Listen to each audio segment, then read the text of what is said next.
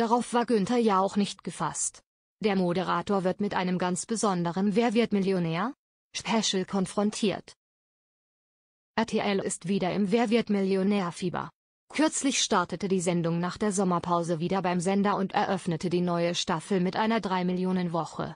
Dieses besondere Format gibt es bereits seit einigen Jahren, sorgte zuletzt aber auch für Kritik, in einer der Sendungen stellte sich eine gestellte Frage im Anschluss als falsch heraus. Nun darf die Kandidatin zu einem späteren Zeitpunkt noch einmal antreten.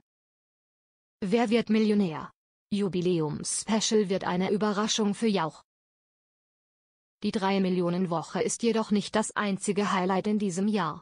Die beliebte Quizshow feiert nämlich ihr 25-jähriges Jubiläum.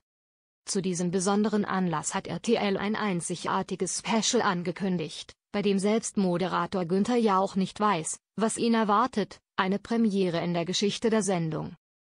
In einer Mitteilung von RTL heißt es, Günther Jauch hat keine Ahnung, was in der XXL-Sendung auf ihn zukommt.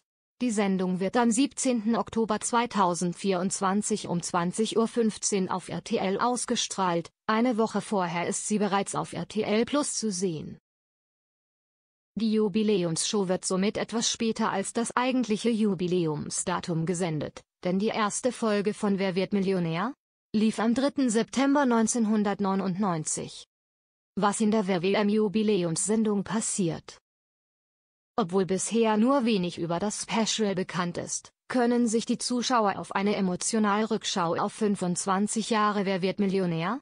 freuen. Geplant ist eine nostalgische Reise durch die Geschichte der Show, bei der bekannte Gesichter wie der Schauspieler Elias Mbarek und letztens Jurorin Mozi Mabuse dabei sein werden. Es wird zudem einige weitere Überraschungsgäste geben, die allerdings noch nicht bekannt sind.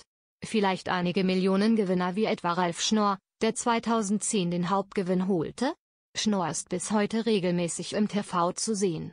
Der letzte Gewinner war Ronald Tenholte im Jahr 2020.